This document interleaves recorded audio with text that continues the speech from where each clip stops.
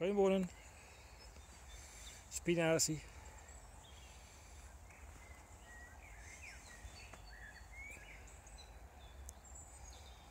Hier komen de stokbonen,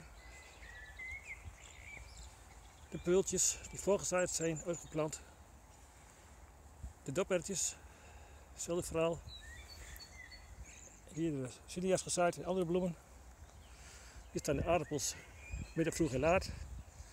Daar achteraan de worteltjes in het gaas. Enkele dingen gezaaid zijn. Nog een stukje vee achtergrond. Rabarber. Midden wortelde bietjes. Uien. Gezaaide ruimte. De aardbeien. En deze grond komen nog allemaal plantjes te staan. Voor de bessen is nog ruimte vrij voor de bloemen. En helemaal vooraan staan nog een paar vroege aardappels.